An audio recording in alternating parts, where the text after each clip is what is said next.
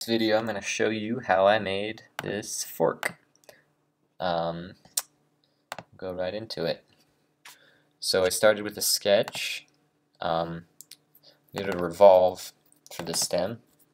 So I did kind of just that overall shape there. I took measurements. Uh, again, I had a model uh, part that I took measurements off of and just kind of copied them there.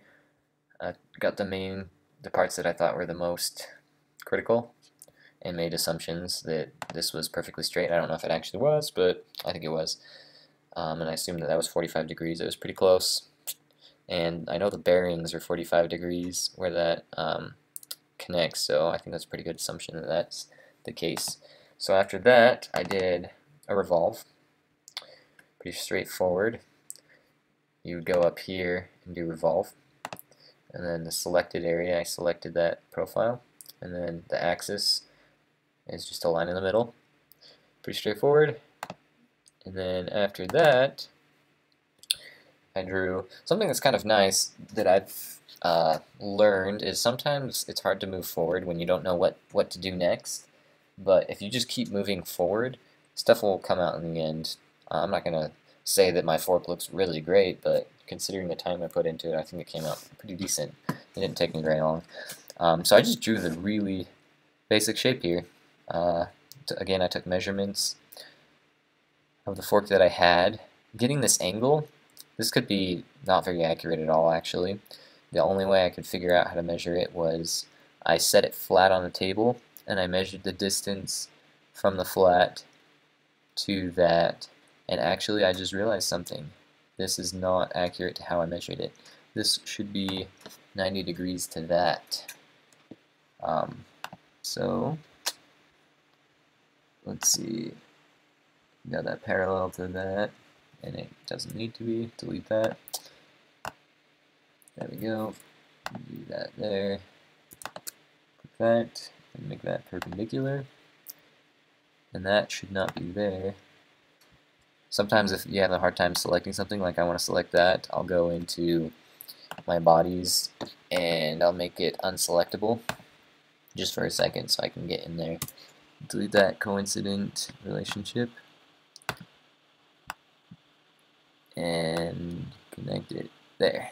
I think that should be fully defined now. Yep, nothing's moving. Well, that's cool. I did this video because that fixed an error that I had. But yeah, so I measured the vertical distance there and the overall length and that. So I just did an extrude. Um, let me save that because that's an important fix. Um, so we just did that sketch and then we did the extrude and I just double extruded it both ways and I did the I extruded the whole distance of the outside because I'm just going to cut away stuff after this point. That's the way I found it the easiest. Uh, maybe you can even put in the comments things that would work better. So I did that. Maybe this would be better for you to visualize if I brought this bar back. So we, we're there. And then I did a sketch, the shape of the fork, and measured all of that off of the model that I have. And didn't extrude cut. I probably just need to stop there. Extrude cut, so I went, um, the nice thing I like about this is it figures out quickly if you want to cut or to make a new body. I use SolidWorks a lot. I'm very familiar with SolidWorks.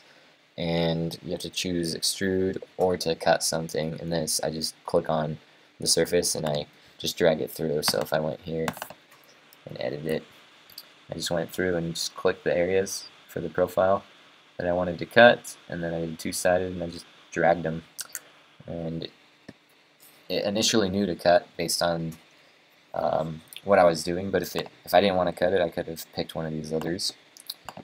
So that gives me that general shape. You can see how quickly it starts to take form even though it looked really ugly to begin with. Yes this is still ugly but I didn't think it was too bad. I did a lot of probably a little more work here than I needed to do. Um, I don't even remember what this sketch was. I don't think I used it. Uh, And then this one, I used, I was going to use this as a profile to revolve around this axis and just cut it because the fork is kind of rounded. But that wouldn't cut exactly how I'd want it to because the fork is tapered. So what I did after this sketch is I made another plane at the same angle. You can see right there it follows in between these lines and goes through the center point here. Um, so I just selected this line here. I drew a line in one of my other sketches and then I just did found out, calculated the degrees that it should be. And then I created a sketch on that plane. So you just click on the plane there. Gotta make it selectable, but you just click on it and you hit sketch.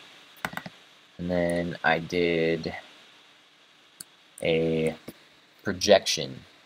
So in here, you can go down to project slash include, and I did project.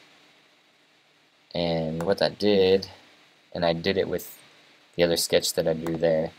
So I made this sketch visible.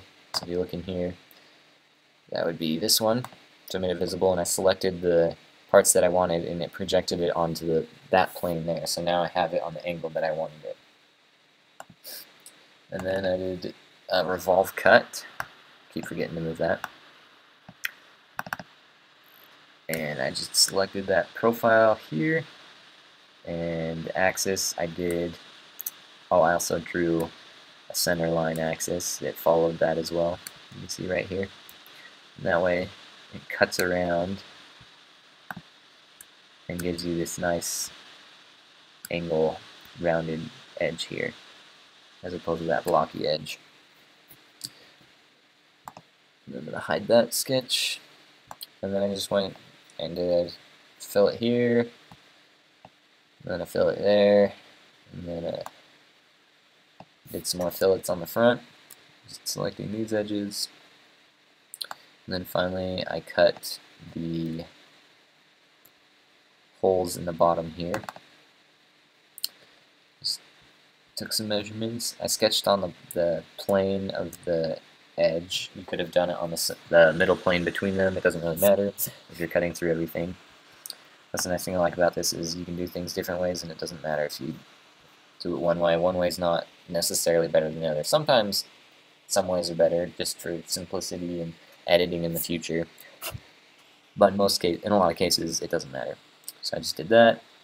Sketch, took my measurements, and then did an extrude cut where I just selected those areas again and cut it, brought it all the way through. And that's how I made the fork that I'm going to use to help me model my bike frame I'm designing. Alright, thanks for watching.